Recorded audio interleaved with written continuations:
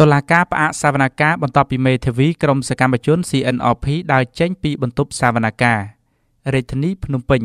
ទីបំផុតទៅសវនកម្មប្រឆាំងនឹងក្រុមសកម្មជនគណៈបកសង្គ្រោះជាតិ CNRP ពាក់ព័ន្ធសំណុំរឿងហិង្សានៅទីលានប្រជាធិបតេយ្យបានផ្អាកនៅម៉ោង11:15នាទីថ្ងៃត្រង់ថ្ងៃទី8មករា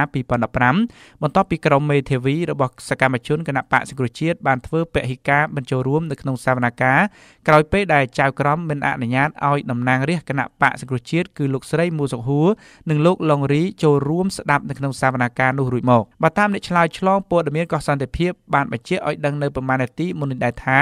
ការដែលចៅក្រមមិនអនុញ្ញាតឲ្យតំណាងរាស្ត្រ CNRP ចូល